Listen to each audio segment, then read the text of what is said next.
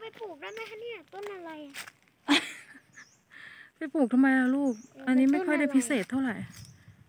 มะม่วงหินน้ำทานเงกก็ที่ไม่ใช่ลูกอะไรอะไม่รู้จักเลยหมามีก็ไม่รู้จักเหมือนกัน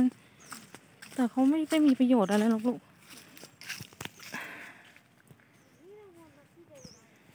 ไม่แต่เราจะมาถ่ายกล้วยไม้นี่ไง